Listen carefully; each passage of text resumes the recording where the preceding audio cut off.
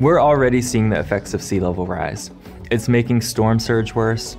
It's causing inundation and saltwater intrusion into our groundwater systems.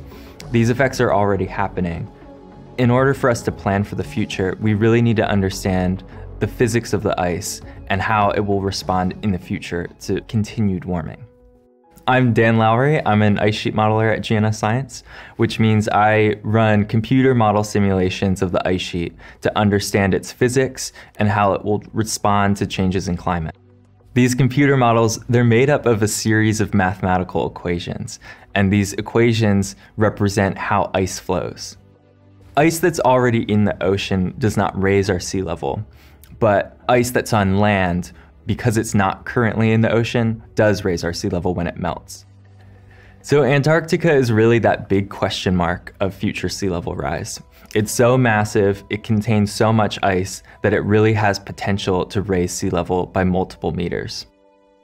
Antarctica is surrounded by these massive floating ice shelves that are hundreds of meters thick. As the ocean warms, the concern is that these ice shelves will start to thin and break off. And as they do that, they'll no longer be able to hold back all of that land based ice. That ice will then be able to flow more easily into the ocean and raise sea level. What we do is we run ice sheet model scenarios to capture what the effect of our choices will be in the future.